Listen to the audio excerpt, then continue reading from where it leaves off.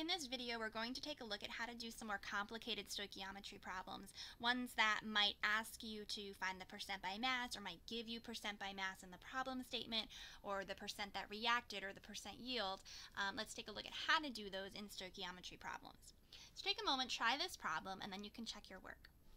A mixture of KClO3, potassium chlorate, and potassium chloride has a mass of 0.950 grams, and it was heated to produce O2. After heating, the mass of the solid was 0.7 grams. Assuming all the KClO3 decomposed to KCl and O2, calculate the mass percent of KClO3 in the original mixture. So it might be helpful to write a reaction here. You see decompose, there's a decomposition reaction. In a decomposition reaction, there's just one reactant or one thing on the left-hand side, which is KClO3. And there'd be, um, and this is telling you it's decomposing into KCl, which is a solid. Ionic compounds are solids. And O2, which is a gas, a diatomic gas. Uh, make sure you've balanced this because the coefficients will be important in stoichiometry. So whenever you're writing a reaction, make sure it's balanced before using it. So one common mistake in this would say, okay, 0.70 grams, if all the KClO3 was used up, then this 0.70 grams must be just KCl. So I'm going to use this 0.7 grams of KCl, and I'm going to turn it back into KClO3 with this stoichiometry.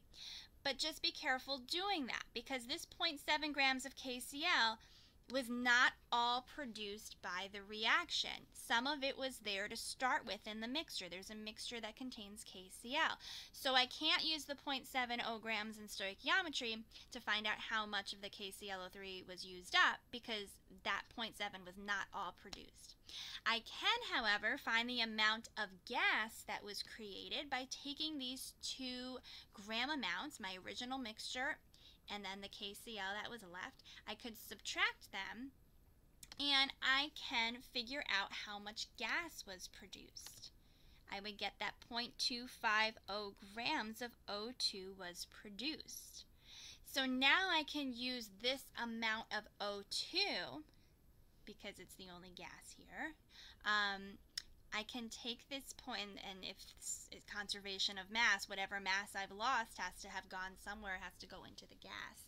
Um, so I can say that, okay, this 0.250 grams of O2, now I can use this um, to use the stoichiometry. So I'm going to uh, mole it out because to use those coefficients, it should be in moles.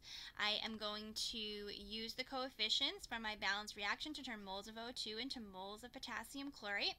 And now, since they're talking about mass percents, I am going to mass it out using the molar mass of potassium chlorate. And I get that. Um, if 0.250 grams of O2 were created, then 0.639 grams of potassium chlorate must have been used up to create that. Now I can get the mass percent in the original mixture because I have the mass of my part, KClO3, and I have the mass of the whole thing. So I'm just doing uh, mass of part over mass of whole and multiply by 100 to turn it into a percent, and I get 67.2%. Trying to keep around three significant figures. Here's another example. In this case, rather than finding percent by mass at the end, I give percent by mass in the beginning.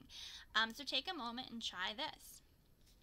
So I'm telling you there's this iron ore sample, and a lot of times these ores are mixtures, so they doesn't contain just Fe2O3, it contains other things, but it is the source of the Fe2O3 in this reaction.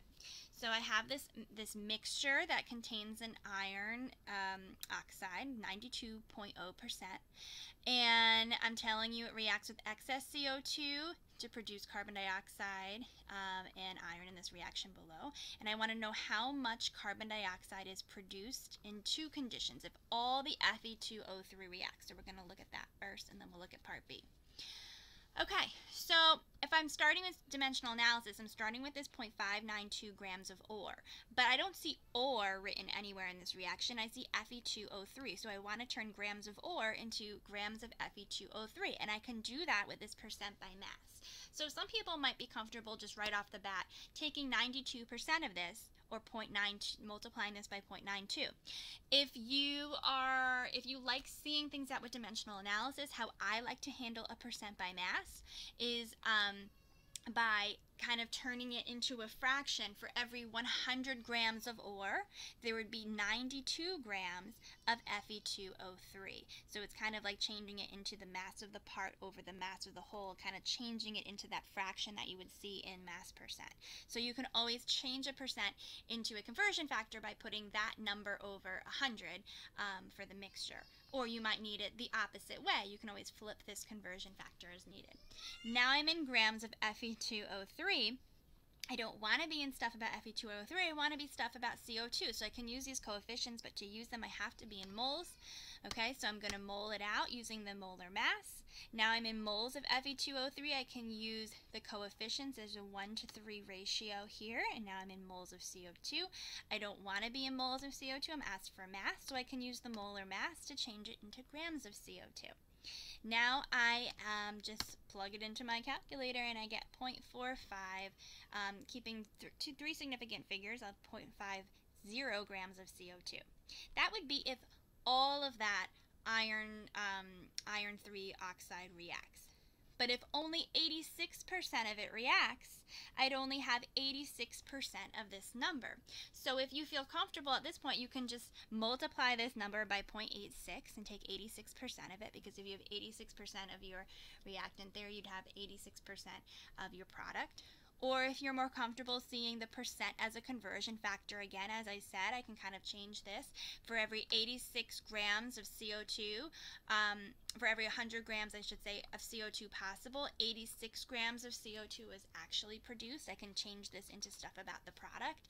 Um, if you wanted to instead, you could have changed this whole setup if you wanted to instead.